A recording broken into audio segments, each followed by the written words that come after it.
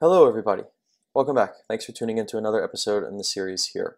My name is Dominic and I'm the host of the Android Factory. In the last episode we went ahead and introduced epoxy here. As you can see on the screen, this doesn't necessarily look like a page that would require a recycler view implementation, but we've gone ahead and done it anyway to showcase the power of epoxy. If you missed it, I would definitely recommend checking it out. I'll link a card in the top right now. And in today's episode, we're going to go ahead and continue our discussion on networking and instead actually dive into paging. As the thumbnail suggests, this is a very popular topic in networking in general and has been requested by a few people within the community, so I'm very happy to start this discussion here. Taking a look at our API call here for a particular character, an individual character, we can see this JSON payload. We've discussed this a little bit at length before, but what I want to draw your attention to is that this payload looks exactly like the payload that will exist inside of this get all characters endpoint, which, as we can see here in the response, has some additional information about paging. So something like this would be the response we would get back from the first page when we request. And we could see here inside of our little metadata info that there is a key here for next, and it points us to another page where we can continue to get the rest of the results. We see here top level information about how many pages there actually are, and then how many characters that there are in general. So taking a look at this little results array, we can see that this JSON looks very similar to getting a single character by its ID. So we're essentially going to be fetching a list of characters and we're going to be doing so in a paging format. So let's talk really quickly about pagination and what pagination actually is. You could think of it like an infinite scroll. For instance, on Instagram, you can continue scrolling down your feed and you essentially never run out of posts. Clearly, if you were to try to fetch all of the posts at once, you would run into not only massive network calls, but also just consuming too much data, long query times, and at the end of the day, it just really wouldn't be feasible. So what happens is you end up fetching, let's say, 20 posts, and then as you scroll down and near the end of the list, the app will go ahead and fetch another 20 posts and basically append that information to the bottom of the list. So appearing to you as the user that you just never run out of posts and you can continue to scroll. The reason I've gone ahead and Googled something is because there's another form of pagination here that I want to discuss so that we can think about this a little bit more technically. So at the bottom of every Google search, there are different pages that you can click on. This is exactly what pagination is, except this is user-based pagination, right? Deliberate pagination. What I want to call your attention to here is that there are there is no information here other than the search parameter inside of this URL and a whole bunch of other stuff. But the second we click on number two here, somewhere in our URL up here, we have a certain query parameter called start equals 10. And that means that we are basically asking the API for information, but we are starting at a particular offset.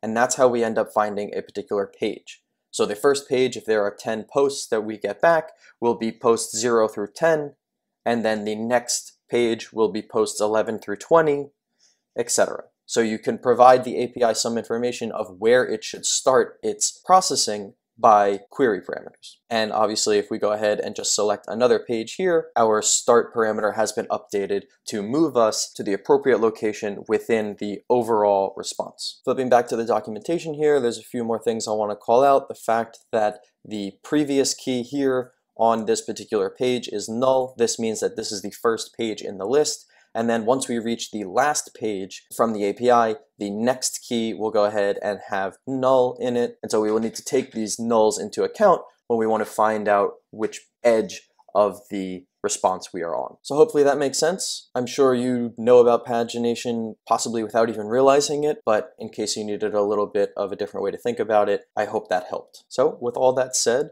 let's go ahead and dive into the code here a bit to actually see how we can go ahead and implement this. So I've simply gone ahead and created a characters package here, and we've created something called a characters data source. This is going to be the brains behind all of our execution, and this couples very nicely with our recycler view, or specifically in our case, our epoxy implementation, to basically tie together the user's interaction when they reach near the bottom of the list, or near a particular location in the list, that this data source will be invoked to load additional pages and propagate the information accordingly. So in the constructor here, we're going to add a dependency to the shared view model to allow for network requests and make use of the correct view model scope because we are using coroutines just to keep everything in sync with our lifecycle. And so at the moment, this class is nothing special, but we're going to go ahead and change that very quickly.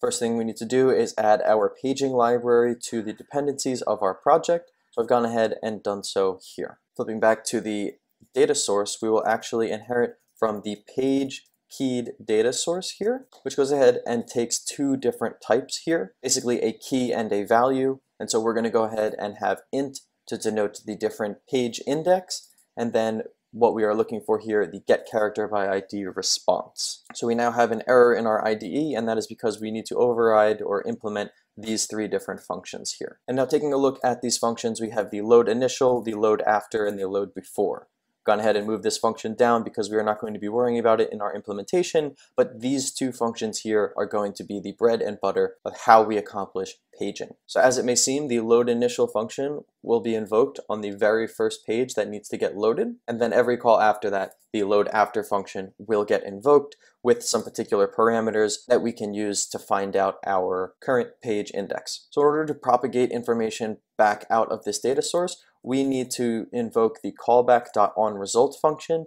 and there are two functions that we can utilize here. We're going to make use of the secondary function here, where we need to provide it some data, a list of character by ID responses, whatever we've denoted here in this constructor. And then we have a previous page key and next page key fields, both nullable integers, and this is exactly how the library works with finding those nulls, finding out which edge or end of the page list we are a part of or we are approaching, so we'll use that to our advantage. But the most important thing is that we need to somehow get the list of characters and propagate that up as our data. The more I think about our data source constructor here, instead of passing in a particular view model, we're going to go ahead and pass in a coroutine scope and the corresponding repository just so that we have a little bit more flexibility here. So the character repository is a brand new class. We've done absolutely nothing, but we do need to come up with a function to interact with this endpoint and surface the list of characters. So we could simply create a suspend function in here, get character lists, we require a page index, and we're going to return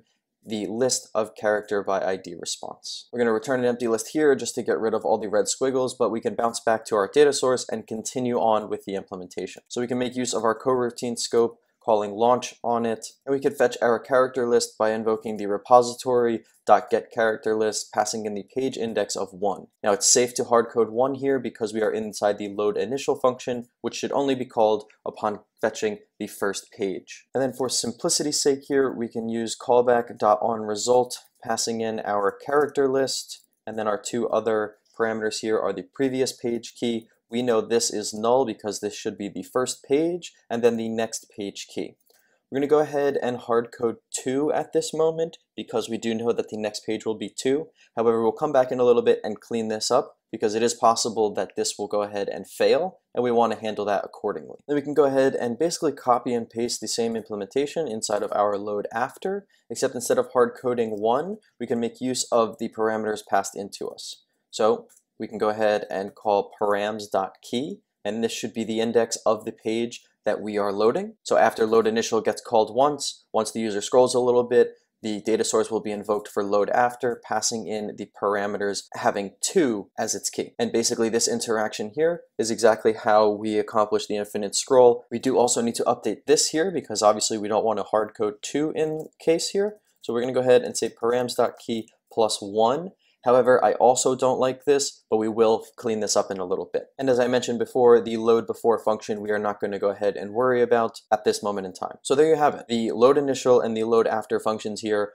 are actually complete. This will function as a data source that we need it to, but there are a few other things that we need to get up and running before we can call this entire segment complete. So if you made it this far, I'd really appreciate a like in the video. I do not want to cram all of this into one video, so we will pick this up in the next episode where we will go ahead and continue our implementation of paging, get this data source up and running, and even build out our UI layer where we can go ahead and display a scrolling list of these characters. Please subscribe if you are brand new so you don't miss out on what's to come, and I'll catch you in the next one. Thanks.